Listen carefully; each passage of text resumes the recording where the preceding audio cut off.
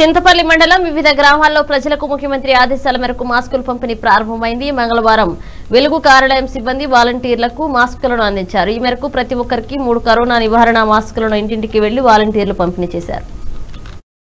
తమ పరిధిలో ఉన్న కుటుంబాలకి ఒక రేషన్ కార్డుకి ఎంతమంది ఉన్నారో వాళ్ళందరికీ మరి మూడేసి మార్కులు ఇవ్వడం అంటూ జరుగుతుంది.